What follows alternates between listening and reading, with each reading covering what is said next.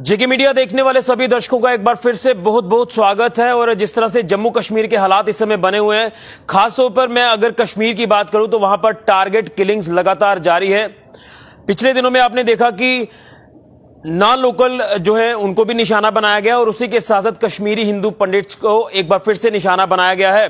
पिछले दो तीन दिन से जो माहौल है, वो लगातार घाटी में अनुकूल नहीं है और उसी को लेकर लगातार जो पीएम पैकेज के तहत जो काम कर रहे इंप्लॉयज हैं, जो कश्मीर घाटी में कार्यरत हैं, जो आज जम्मू में लगातार पिछले कई दिनों से प्रदर्शन कर रहे हैं, इसीलिए वो कह रहे हैं कि हम कश्मीर वापिस नहीं जाएँगे।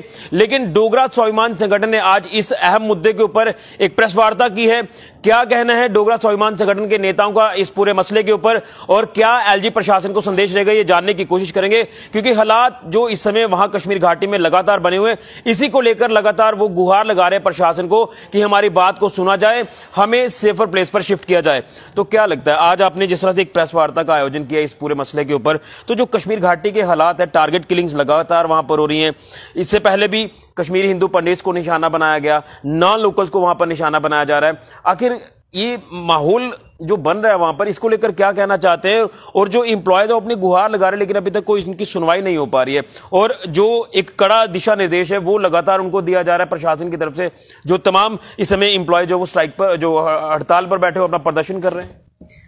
ये हम अपनी तरफ़ से यही कहना चाहते हैं कि जो गवर्नमेंट है, वो टोटली फेल हो चुकी है।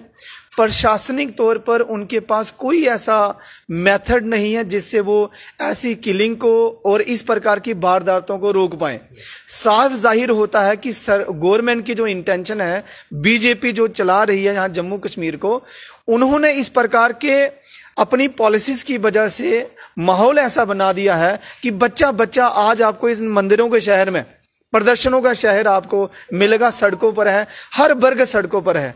और जिस हिसाब से चुन चुनकर आतंकवादी वहाँ सॉफ्ट टारगेट को ढूंढ करके कोई मजदूर को आ, मार दिया कोई बेचारा वहाँ पे जॉब करने के लिए जाता है उसको मार दिया और उन्हें चुन चुन के वो वहाँ पर मार रहे हैं तो इसके पीछे साफ़ तौर पर यह ज़ाहिर होता है कि जो गवर्नमेंट की पॉलिसीज़ हैं वो पूरी तरह से विफल हो चुकी हैं।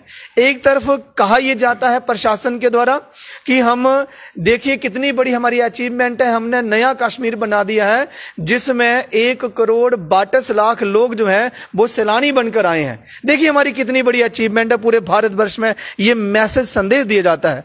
और ये नहीं बता पाए, बारह, तेरह, चौदह, पंद्रह सालों से जितने भी वहाँ पे हमारे जम्मू के जो शेड्यूल कास्ट भाई बहन थे, उधर नौकरी कर रहे थे बहुत अच्छे ढंग से करे थे। कोई उनके साथ कोई ऐसी वारदात नहीं हुई। बहुत सेंसिटिव से ज़्यादा सेंसिटिव एरियाज़ में अपनी जॉब प्रोवाइड करवा रहे थे। आज तक उनके हाथों को, उनके जिस्म को कोई छू नहीं पाया है। लेकिन आज अभी अचानक ऐसा क्या हो गया? इस नए कश्मीर को जहनम बनाया जा रहा है। लगातार ये कहना, कहने से हमें कोई गुरेज नहीं है कि इसमें भारतीय जनता पार्टी के द्वारा बिठाए गए जो एलजी प्रशासन चल रहा है इधर, वो पूरी तरह से विफल है, उनके पास कोई प्रोग्राम कोई विजन नहीं है कि इस समस्या को, इन प्रॉब्लम्स को हैंडल कैसे किया जाए। और इसे हम टारगेट टारगेट किलिंग ना कह करके ये कहना पसंद ज़रूर करेंगे कि मारा उसे जा रहा है। जो व्यक्ति वहाँ पर नौकरी ले रहा है, जो व्यक्ति वहाँ पर ज़मीन का अधिकारी हो रहा है, जो व्यक्ति उनमें वहाँ पर हिस्सेदारी बन रहा है, वो उसको टारगेट कर रहे हैं। जो सैलानी इतने गए थे सरकार के आंकड़े हैं, उनको टारगेट नहीं किया। उन सैलानियों को तो उन्होंने फैसिलिटेट किया और वो सारे सारे सैलानी हिंदू धर्म के जाते हैं। उनको क्यों नहीं मारा वहाँ पे? और मारा किसको? जो वहाँ पे मजदूरी कर रहा है। मारा किसको? जो वहाँ पे नौकरी कर रहा है। मारा किसको? जिसने वहाँ का डोमिसाइल बना लिया और वहाँ पर ज़मीन खरीदना का हकदारी बन गया।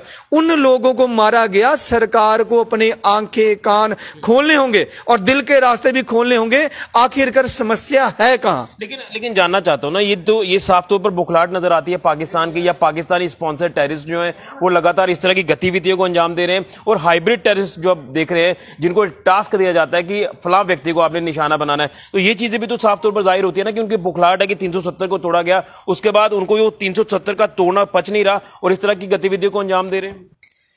देखिए 370 तोड़ा, ये बहुत अच्छा किया। इतना बढ़िया कदम है, इसका कोई मुकाबला नहीं है। मगर पूरा तौर तरीका तो होना चाहिए था ना।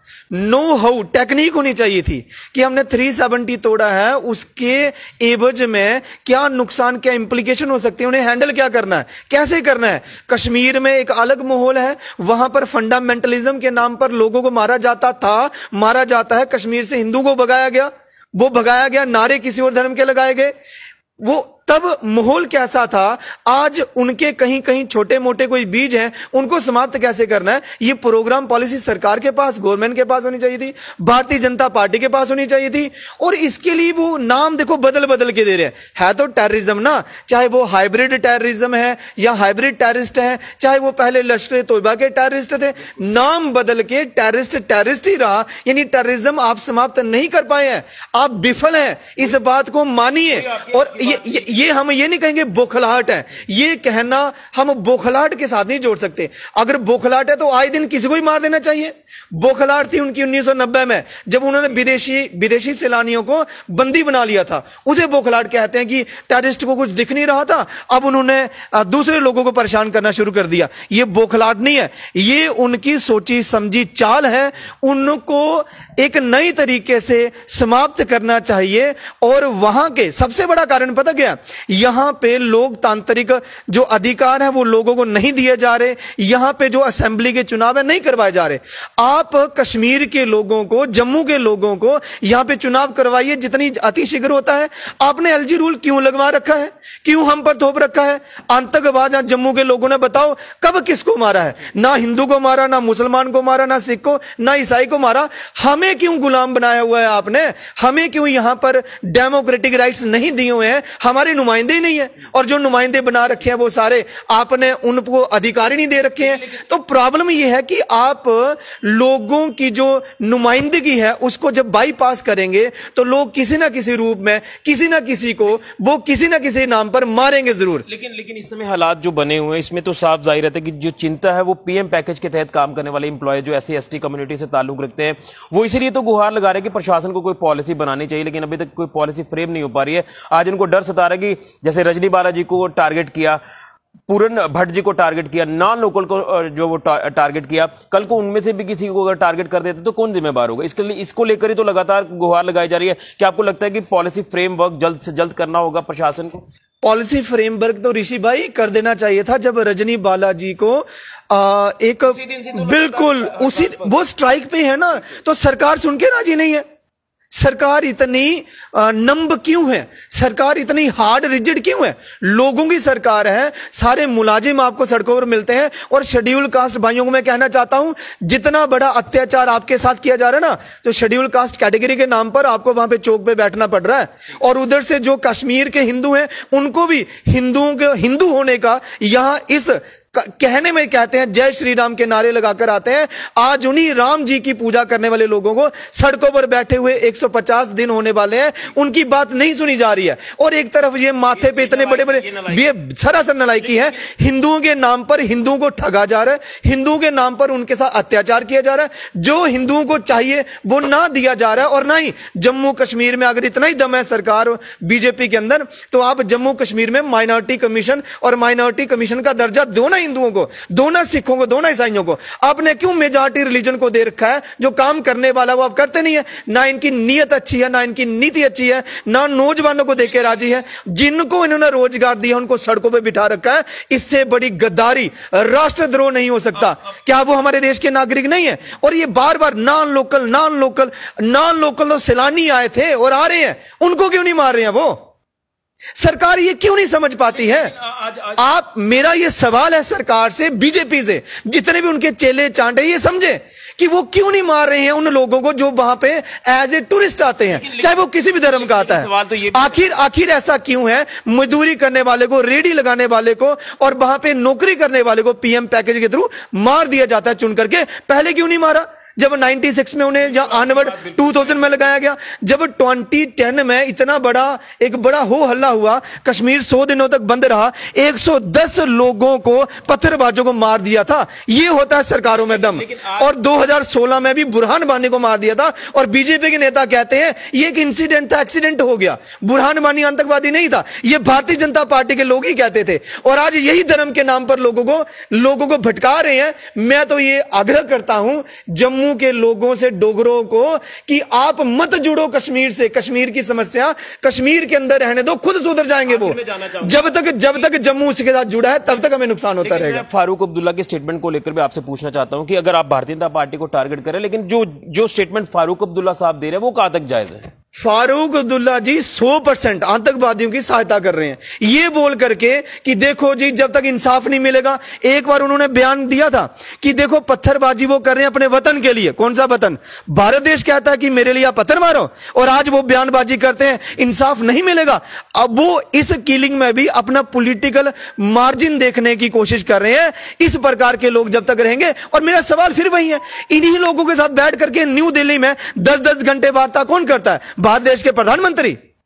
फिर इन्हीं लोगों के साथ बैठ करके इनकी विवाह शादियों में कौन जाता है? हमारे भारत देश के भारतीय जनता पार्टी के मंत्री जाते हैं ना, चाय इन्हीं के साथ पीते हैं। और एक तरफ़ कह रहे देखो, फारूक दुल्ले ने आग लगा दी। अगर आग लगा दी तो उसे हटवा दो ना एमपी की सीट से। तो अगर आग लगवा दी उनकी पार्टी को आप निरस्त कर दो ना। को लेकर सवाल कई आते हैं फिर तो डोगरा स्वाभिमान संगठन के आपके चौधरी लाल सिंह जी भी तो पीएचडी की मीटिंग में लगातार हिस्सा ले रहे हैं। हमारे जो चेयरमैन साहब गए हैं वो अपने काज के लिए गए हैं और जेनुअन काज गया कि हम यहाँ पे किसी भी जो बाहरी राज्य के लोग हैं उनके साथ बैठने उनके साथ बैठने के साथ अपनी पॉलिसी फ्रेमवर्क कर रहे हैं। आप अलग से बैठिए। अगर आप डोगरा स्वाभिमान संगठन एक सोच लेकर चल रहे कि हम जम्मू को अलग राज्य बनाएँगे तो फिर अलग अलग सोच लेकर चलिए, उनके साथ मंच क्यों साझा किया? आप देखिए, मंच साझा किया है और हमारे जो मतलब एक शेर की तरह उन्होंने अपने बयानबाजी की है। उनके घर में जाकर के सर्जिकल स्ट्राइक आप देखिए सोशल मीडिया में।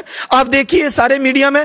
साफ़ ज़ाहिर है कि उन्होंने किसको डांटा, क्या बोला, क्या कहा? उन्हें नाको चने चबाए हैं। ऐसे मोदी जी ने दस घंटे वार्ता की थी, बताएँ, क्या बोला उनके साथ? क्या गप मारी है? क्या उनकी में इतना साहस था, उनको बुला करके कह सकते भाई, आपकी वजह से आज कश्मीर के लोग, जम्मू के लोग सड़कों पर हैं और बेघर हो रहे हैं और उनके पास रोज़गार नहीं आपकी वजह से। इन्होंने जो किया, बताए ना ये, लेकिन हमारे वाले ने जो किया, वो सामने है। उनके बुलावे पर गए, जो जैनून काज था, उसके लिए हम उनके साथ हैं। जो देश के प्रति नहीं होगा, चाहे वो भारतीय जनता पार्टी है, जो आज राष्ट्रद्रोह कर रही है, यहाँ लोगों को मरवा करके हमारी अगेन ये विनती है कि आप इतने हालात मत बिगड़ने दो कि जम्मू के लोग जो बेचारे प्रॉस्पेरस लाइफ जी रहे हैं, उनको भी आप कटघरे में ला रहे हो। चलिए, बहुत शुक्रिया। तो ये थे हमारे साथ डोगरा स्वाभिमान संगठन के नेता संदीप जी और तमाम उनके साथी जो आज एक प्रेस वार्ता कर रहे थे टारगेट किलिंग्स को लेकर, जो लगातार हालात कश्मीर में बने हुए हैं। लगातार निहत्ते लोगों को निशाना बनाया जा रहा है, चाहे वो कश्मीरी हिंदू पंडित हो या फिर नॉन लोकल जो वहाँ बाहर से आकर यहाँ पर काम कर रहे हैं। ये आतंकवादी को नहीं पच रहा आतंकवादी लगातार बुखलाहट में है और अब हाइब्रिड जो टेरिस देखने को मिल रहे हैं, जिनको एक टास्क दिया जाता है, वो लोगों को निशाना बना रहे हैं। और लगातार जब से रजनी बालाजी का जो पूरा मामला सामने आया, जब उनको टारगेट किया गया, उनकी किलिंग की गई कश्मीर में, उसके बाद से लगातार पीएम पैकेज के तहत काम कर रहे कश्मीर में तमाम जो इंप्लॉयज कार्यरत हैं, वो आज जम्मू में वापस आए हैं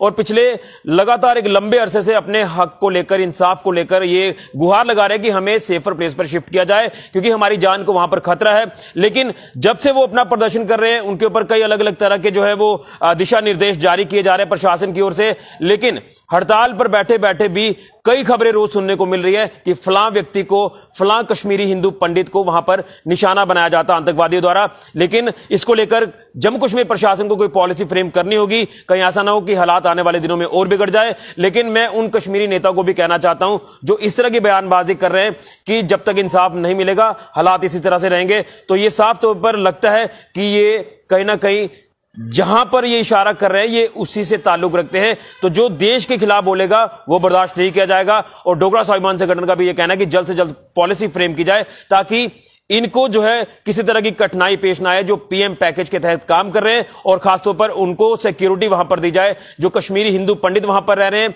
और जो नॉन लोकल वहाँ पर रह रहे हैं, उनको लेकर कोई पॉलिसी जल्द से जल्द इख्तियार करनी होगी जम्मू कश्मीर प्रशासन को, नहीं तो हालात आने वाले दिनों में और ज़्यादा खराब होंगे कश्मीर घाटी में। फ़िलहाल के लिए कैमरामैन राहुल के साथ ऋषि खजूरिया, जेके मीडिया के लिए।